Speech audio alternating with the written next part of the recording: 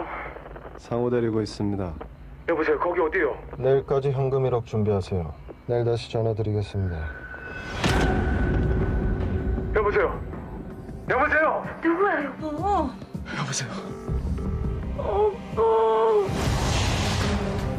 돈만에 사는 상호 안전하게 독행시켜드립니다. 당신이 이러고도 무사할 것 같아, 지금! 신고하셨습니까? 아니에요. 그런 거 없어요. 지금부터 상호 굶길 겁니다. 신고하면 다시 내 못 볼 줄 아십시오. 필적 음성 몽타주 90% 일치하는데 voice가 지적인 점, 좀처럼 흥분을 하지 않는다는 점. 그래 그럼 목소리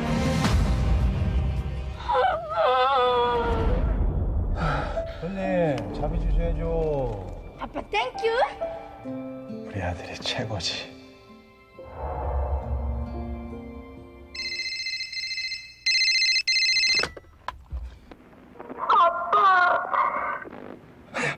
상우야, 상우야, 아빠야.